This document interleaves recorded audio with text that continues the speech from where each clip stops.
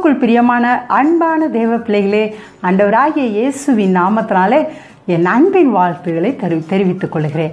இந்த ஜூன் மாதம் அப்பா நம்மளோடு பேசுகிற வார்த்தை என்னவென்றால் சங்கீதம் முப்பத்தி ஏழு ஐந்து. நான் வாசிக்கிறேன் கேளுங்கள். உன் வழியை கத்தருக்கு ஒப்புவித்து அவர் மேல் நம்பிக்கையா இரு. அவரே காரியத்தை வாய்க்க பண்ணுவார். உன் பாருங்களேன் நான் திரும்ப வாசிக்கிறேன். உன் வழியை கத்தருக்கு ஒப்புவித்து இதில் மூணு பாயிண்ட் அவர் சொல்கிறது கேளுங்களேன் உன் வழியை கத்தருக்கு ஒப்புவித்து அவர் மேல் நம்பிக்கையா இரு. அவரே காரியத்தை வாய்க்க பண்ணுவாராம். இந்த காரியத்தை வாய்க்க பண்ணுவார் அப்படிங்கிறதுக்கு இங்கிலீஷில் என்ன போட்டிருக்குன்னு கேட்டிங்கன்னா ஜீசஸ் ஆக்ட் ஃபார் அஸ் அதாவது ஏசப்பா நமக்காக செயல்படுவாரா. எப்போ நமக்காக செயல்படுவார்? இந்த ஜூன் மாதம் முழுவதும் நமக்காக செயல்பட போகிறார். அப்புறம் அதுக்கடுத்து எல்லா நாளுங்க என்னைக்கு இந்த வசனத்தை இப்போ நீங்கள் வாக்கு தத்தமாக நீங்கள் கேர் அது உங்களுக்கு வெளிப்பாடாக வருதோ? வாக்கு தத்தமாக கொடுக்கப்பட்டிருக்கு.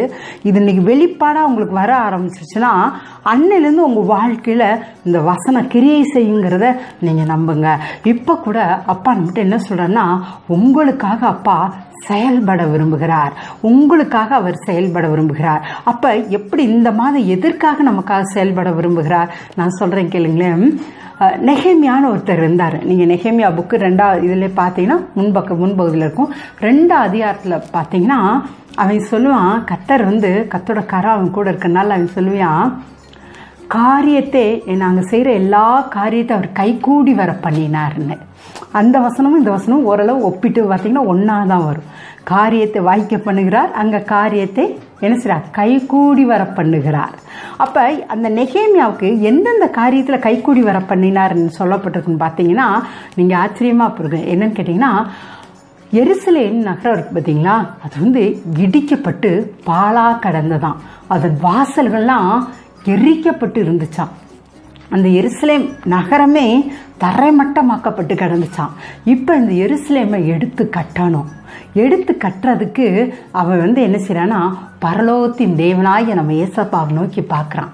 பார்த்தோன்னையும் அவரோட கரம் அவன் கூட இருந்ததுனால அவனுக்கு எப்படி ஆச்சுன்னு கேட்டிங்கன்னா அவன் அதை ஈஸியாக கட்டி முடிச்சிட்டாங்க. அவன் என்ன சொல்கிறான் அவர் என் கூட நீங்கள் பாருங்களே நான் நெஹேமியா ரெண்டு அதிகாரத்தை நான் உங்களுக்காக நான் வாசித்து காட்டுறேன் பாருங்கள் நெஹேமியா ரெண்டு அதிகாரத்தில் பாருங்கள் ம். பாருங்களே பரலோகத்தின் தேவனானவர் எங்களுக்கு காரியத்தை கைகூட கைகூடி வர பண்ணுவார் அப்படிங்கிறார். எனவே நான் ஊழியக்காரர் நாங்கள் எழுந்து கட்டுவோம். இதை எருசலேம். அப்போ இன்னைக்கு அப்பா என்ன சொல்கிறாருன்னா அன்னைக்கு நெகேமியா விழுந்து கிடந்தா பாலாய் போன அதில் போட்டிருக்கு பாருங்களேன் அதில் எருசலேம் எப்படி இருந்துச்சான் பாருங்களேன். அதையும் நான் உங்களுக்கு வாசித்தரேன் உங்களுக்கு அது பிரயோஜனமாக இருக்கும். அதனால தான் நான் வாசிக்கிறேன். வசனம் பார்த்தீங்கன்னா அதன் வாசல்கள் அக்கினியால் சுட்டரிக்கப்பட்டு கிடைக்கிறதையும் நாம் இருக்கிற அதாவது நாம் இருக்கிற சிறுமையையும் பார்த்து பா பார்க்கிறீர்களே அப்படிங்கிறார். அதாவது நாம் இனி நிந்தைக்குள்ளா நிந்தைக்குள்ளா இராதபடிக்கு எருசலேமத்தின் அலங்கத்தை கட்டுவோம் வாருங்கள் அப்படி சொல்கிறான் அவன் அந்த எருசலேமோட நிலைமையை நான் சொல்கிறேன் கேளுங்களேன் சுருக்கமாக எருசலேம் வந்து பாலாக இருந்துச்சான் அதன் வாசல்கள் அக்னியால் எடி எரிக்கப்பட்டு இருந்துச்சான் மிகவும் சிறுமைப்பட்டு கிடந்துச்சான் நிந்தைக்குள்ளாகி இருந்துச்சான் பாருங்க சிறுமைப்பட்டு இருந்துச்சான் நிந்தைக்குள்ளாகி இருந்துச்சான் இந்த எரிசிலேமை பார்த்து அவர் சொல்றார் கத்த கட் எழும்பி கட்டுவோம். எப்படின்னா பரலோகத்தின் தேவனானவர் நம்மோடு கூட இருக்கிறார். அவரே நாம் கட்டும்போது இந்த காரியத்தை கைகூடி வர பண்ணுவார்னு சொல்லி. உண்மையிலே அவருக்கு அந்த அலங்கம் முழுவதும் அவன் கட்டி தீர்ப்பாங்க. எருசலேம் சுற்றிலும் இருக்கிற அந்த அலங்கங்களை கட்டுவான் வாசல்களை வைப்பான். அப்படி கட்டும் போது அந்த எருசலேம் பாலாய் கடந்த எருசலேம் மிகவும் அழகானது. அதற்கு அழகிய வாசல்களை வச்சாங்க. எவ்வளோ பெரிய சந்தோஷம். கத்தர் அவங்களுக்கு கைகூடி வர பண்ணினார். எப்படின்னா இதுக்கு வந்து அவன் செய்து இந்த ரெண்டு காரியம் தாங்க. நீங்கள் சங்கீத முப்பத்தேழில் வந்து பாருங்களே சங்கீத முப்பத்தேழில் நம்ம என்ன பார்த்தோம்? பார்த்தீங்கன்னா அந்த ரெண்டு காரியம் முதல் நம்முடைய வழிகளை கத்தருக்கு ஒப்புவிக்கணும் அடுத்து அவர் மேல் நம்பிக்கையாக இருக்கணும். வழிகளை அவன் அப்படி நெகேமியா தன்னோட வழிகளை எல்லாம் கத்தருக்கு ஒப்புவிச்சு தான் அவன் ராஜாவுக்கு கீழே வேலை பார்த்தவன் வேற ஒரு தேசத்தில் அங்கிருந்து தன்னோட தேசத்தின் மேல் பாரப்பட்டு ஜெபிச்சு தேவனோட சித்தத்துக்கு நான் ஒப்பு கொடுத்து வந்ததுனாலதே அவர் எனக்கு எல்லாம் வாய்க்க பண்ணுவார்னு அவர் மேல் நம்பிக்கையாக இருந்து நாலு மாதம் அங்கே அவன் இருந்த தேசத்துலேருந்து இஸ்ரேல் வர்றதுக்கு அவ்வளோ தூரம் நடந்து வந்து தேவன் மேல் நம்பிக்கையாக இருந்து தேவன் எனக்கு இது செய்வார்னு சொல்லி செய்ததுனால தான் அந்த எருசலேம் அப்படி ஒரு அழகாக கட்டி முடிக்கப்பட்டது. அதுபோல் இன்னைக்கு இதை பார்க்குற அன்பான தேவ பிள்ளைகளே உங்களை பார்த்து சொல்கிறேன் உங்கள் வாழ்க்கையில் எந்தெந்த இடங்கள் பாழாய் கிடக்கிறது எந்தெந்த இடத்துல சிறுமைப்பட்டு இருக்கிறீங்க எந்தெந்த இடம் இனி ஆகவே ஆகாதென்று சுட்டரிக்கப்பட்டு இருக்கிறது எந்தெந்த இடத்துல நிந்தைக்குள்ளானீங்க அதையெல்லாம் நீங்கள் எழும்பி கட்டுவீங்க. எப்படின்னா அந்த காரியத்தை கைகூடி வர பண்ணுகிறவர். நம்ம அப்பாவாகிய இயேசு அந்த காரியத்தை கைகூடி வர பண்ணுவார். அவர் நமக்காக செயல்படுவார். அவர் நமக்காக அது உண்மை அந்த வசனத்தில் பார்த்தீங்கன்னா முப்பத்தி ஏழு அஞ்சை நீங்கள் இங்கிலீஷில் படித்து பார்த்தீங்கன்னா ஜீசஸ் ஆக்ட்ஸ் ஃபார் ஆக்ட் அவர் நமக்காக செயல்படுவார். நம்முடைய காரியத்தை அவர்கிட்ட ஒப்பு கொடுத்துட்டோம்னு வச்சுக்கோங்களேன். அந்த நெகேமா எப்படி அந்த வ- அந்த கட்டுமான பணிகளெல்லாம் தேவன்கிட்ட ஒப்பு கொடுத்தாரோ அதுபோல் நம்மளும் ஒப்பு கொடுக்கும்போது தே- அந்த காரியங்கள் வாய்க்குது. அவர் எப்படி நம்பி நம்பிக்கையாக இருந்தாரோ அதுபோல் நாமும் அவர் மேல் நம்பிக்கையாக இருக்கணும். எப்படி நம்பிக்கையாக இருப்போம்? எதிர்மேல் நம்பிக்கையாக இருப்போம்? சொல்லுங்க பாப்பா. ஒன்றும் இல்லை. எதிர்மேல் நம்பிக்கையாக இருப்போமானா நம்ம சிலுவையில் கிறிஸ்து நமக்கு செய்து முடித்ததில் தான் புதிய உடன்படிக்கை கீழே இருக்கிற நம்ம நம்ம எது ஒரு எந்த காட்டில் அதிகமாக நம்பிக்கை வைக்க வேண்டுமானா கிறிஸ்து எனக்காக சிலுவையிலே என்னுடைய எல்லா பிரச்சனைகளையும் தீர்த்து விட்டார். சிலுவையிலே சுமந்து விட்டார். என்னுடைய நிந்தைகளே என்னுடைய அவமானங்களே என்னுடைய சிறுமையை என்னுடைய பால் கடிப்பே என்னுடைய பாழான நிலைமை என்னுடைய இல்லாத நிலைமை என்னுடைய வியாதி என்னுடைய பாவங்கள் என் சாபங்கள் என்னுடைய அடிமைத்தனங்கள் எல்லாவற்றையும் இயேசு சிலுவையிலே சுமந்து தீர்த்து விட்டார் என்பதிலே நாம் நம்பிக்கையாக இருக்க வேண்டும். அதுதான் இந்த ரெண்டாவது பாயிண்ட் முத வந்து நீங்கள் உங்களை ஒப்பு கொடுக்குறீங்க. ஐ கமிட் மை செல்ஃப் அப்படிங்கிறீங்க. அடுத்து வந்து ஐ ட்ரஸ்ட் ஹீம் அதாவது நான் அவரில் நம்பிக்கையாக இருப்பேன். எதுனா அவர் எனக்கு சிலுவையிலே எல்லாவற்றையும் சுமந்து தீர்த்து விட்டார். அந்த இதில் இனி எனவே என் வாழ்க்கையில் எந்த தீங்கும் வராது. என் குடும்பத்தில் எந்த பிரச்சனையும் வராது. என் குடும்பத்தில் இந்த இந்த எம்டி இந்த இல்லாத நிலைமை வராது. அப்படின்னு சொல்லி நீங்கள் உங்கள் காரியங்களை ஒப்பு கொடுத்து நம்பிக்கையாக இருக்கும்போது உங்களுக்காக உங்கள் வீட்டில் இந்த பிரச்சனைக்காக கிறிஸ்து செயல்படுவாருங்க. இன்னைக்கு ஒருவேளை அன்னை தம்பி அக்கா தங்கச்சி சண்டையாக இருக்கலாம். அதில் மனக்கசப்புல இருக்கலாம் நீங்கள் உங்களுக்காக எசப்பா செயல்பட ஆயத்தமாக இருக்காருங்க. இந்த மாதத்தில் ஒரு அற்புதம் நடக்கும் நடக்குங்க உங்கள் வீட்டில் இந்த வசனத்தை நீங்கள் நம்பிக்கைங்க. எனக்காக. அதில் பாருங்கள் அந்த வசனத்தை அதாவது அதில் என்ன போட்டிருக்குன்னு கேட்டிங்கன்னா முத வந்து நம்ம கமிட் பண்ணுறோம் அதாவது முப்பத்தி ஏழு நான் வந்து நான் வந்து கமிட் பண்ணுறோம் அடுத்து வந்து அவரில் நம்பிக்கையாக இருக்கிறோம்.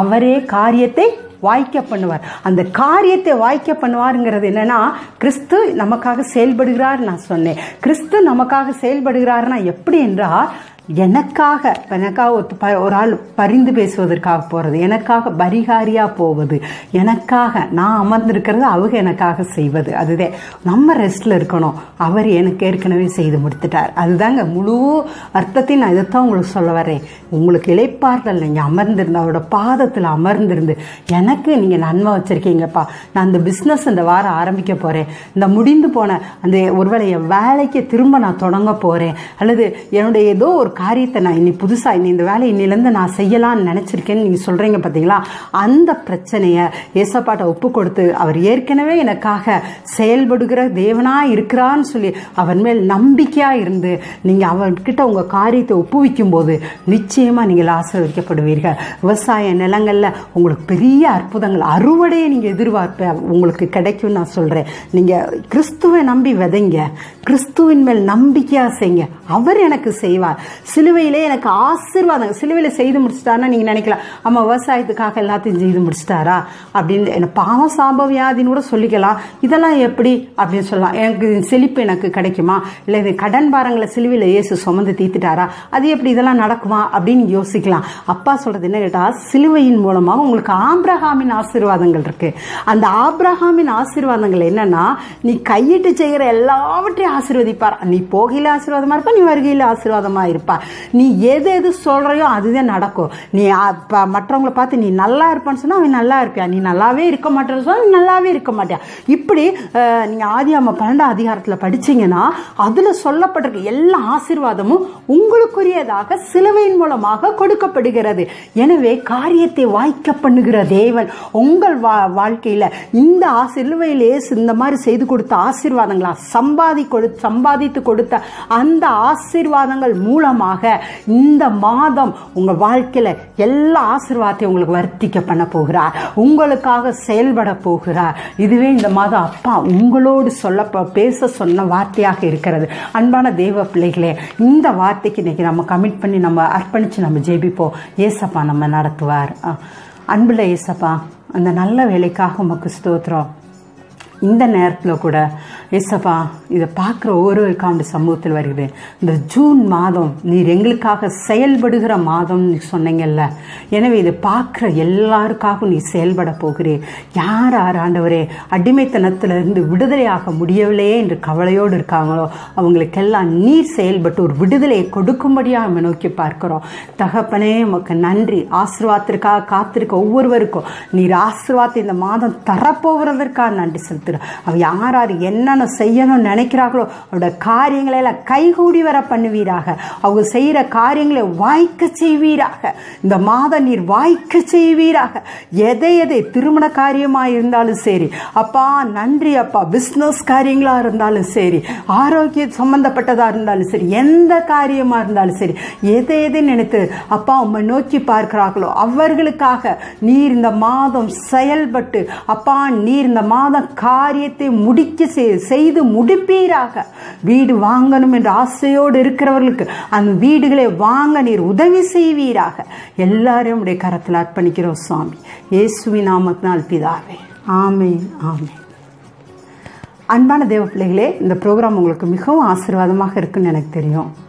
நீங்கள் தொடர்ந்து இதை பாருங்கள் மற்றவங்களுக்கு ஷேர் பண்ணுங்கள் நிறையா பேருக்கு இந்த மாதம் தேவன் காரியத்தை வாய்க்க பண்ண வேண்டும் என்ற ஆசையோடு இருக்கிறார். அவங்க இதை கேட்கும்போது அவங்களுக்கு மிகவும் சந்தோஷமாக இருக்கும். அவங்களோட காரியங்கள் வாய்க்கப்படும் என என்ற நம்பிக்கையோடு அவங்க இருப்பாங்க. மாத்திரல இது வரைக்கும் நீங்கள் வந்து சப்ஸ்கிரைப் பண்ணலைன்னா சப்ஸ்கிரைப் பண்ணுங்கள் லைக் பண்ணுங்கள் தேங்க்யூ காட் பிளஸ் யூ